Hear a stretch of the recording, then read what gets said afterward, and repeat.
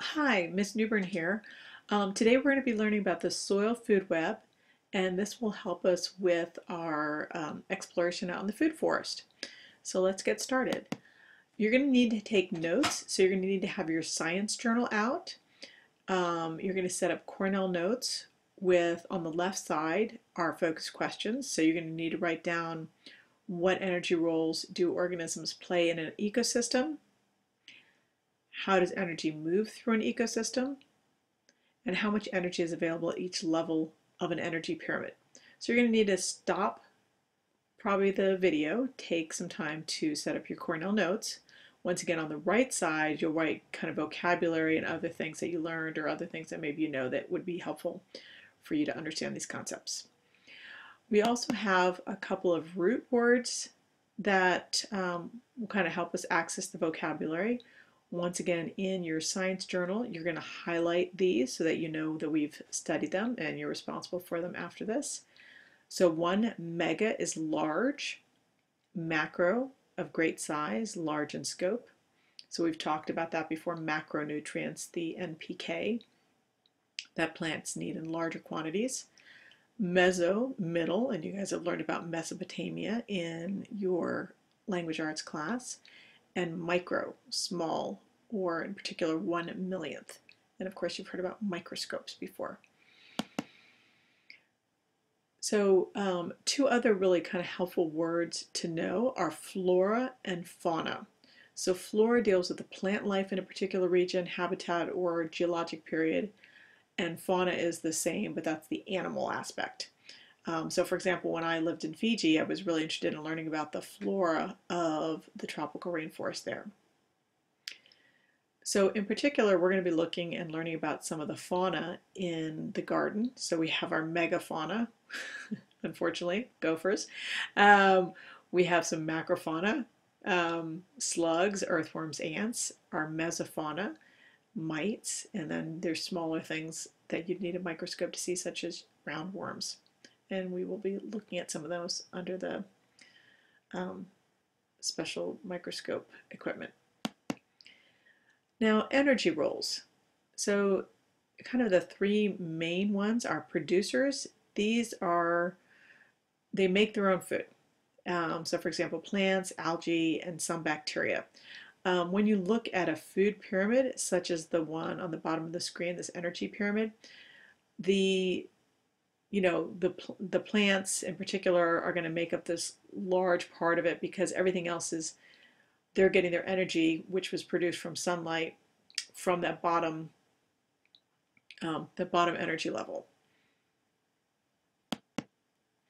Consumers. So consumers are uh, organisms that eat other organisms. So for example herbivores um, also sometimes referred to as primary consumers um, primary because they're eating the plants. Um, carnivores, which are meat eaters, are sometimes referred to as secondary consumers because they are eating the primary consumers.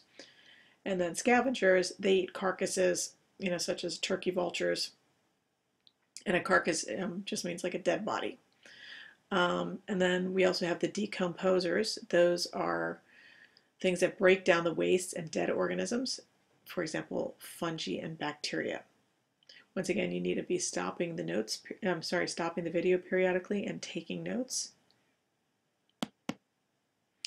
So here's just a simple um, example of a food chain. So once again, you have your producers, your grass, that's being eaten by a grasshopper, a primary consumer.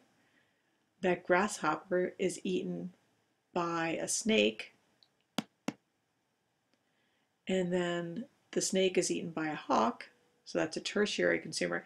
Typically, because energy is lost every single time, it's about one tenth or about 10% um, is what's able to be taken in in terms of the energy at each level. So it's a huge loss, 90% loss at each level. Most food chains can't really support anything above a fifth level um, consumer.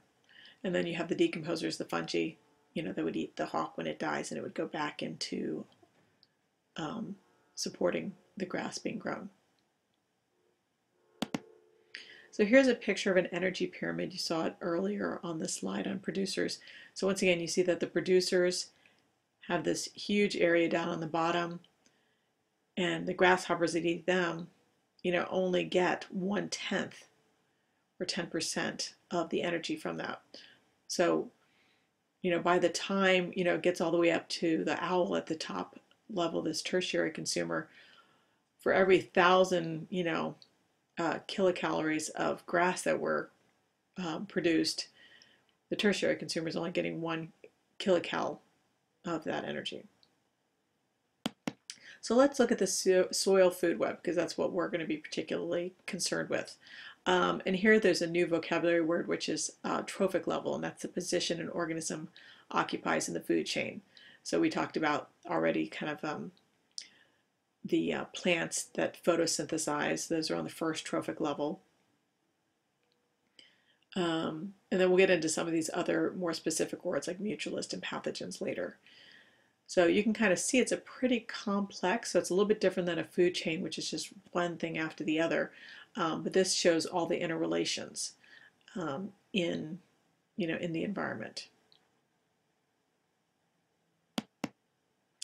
And the thing that I really want to point out is diversity. So ecosystems are a lot healthier when there's a lot more diversity, and we're going to play that game um, to kind of just show the interconnectedness.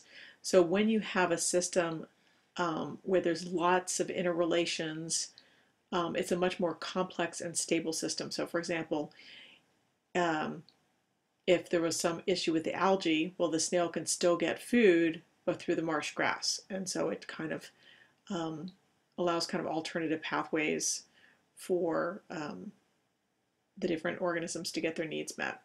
Whereas you can see here, if there was a problem with the marsh grass, you know, pretty much everything kind of collapses. So simple systems are unstable. In our modern agriculture system, we have gone to a very simple and hence unstable system. So we so um, one of the reasons we're doing our food forest is to make a more complex and hence stable system.